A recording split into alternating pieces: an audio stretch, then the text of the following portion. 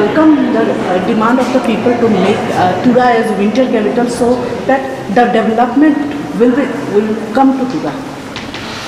So uh, I think right now I I will not make any comments, but it's a wish of the wish of the uh, people.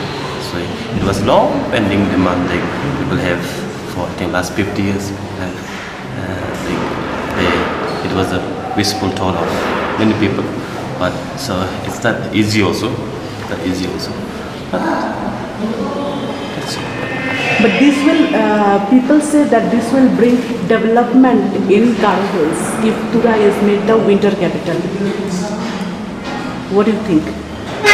could happen if could be done but it's uh, it it may be dreams but but but since this government is is like Uh, right now this the present government is is doing all what to call all necessary things to bring up all the district heads together and we see lots of lots of development be it in Tura, be it in Jowai, be it in Baghmara. So look, to be praying in Baghmara now.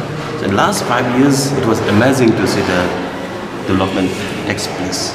Okay, but the, the, the problem is like every district, every nook corner of the state, the, the, we have got the confidence in the in this government. So I think the people are happy today because this government has uh, reached out to every nook and corner of the state.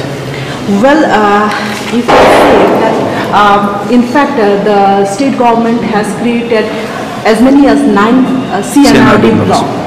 So when the uh, state government is thinking about bringing administration closer to the people, th- this demand has somehow taken a uh, in Garo Hills, particularly in Tura.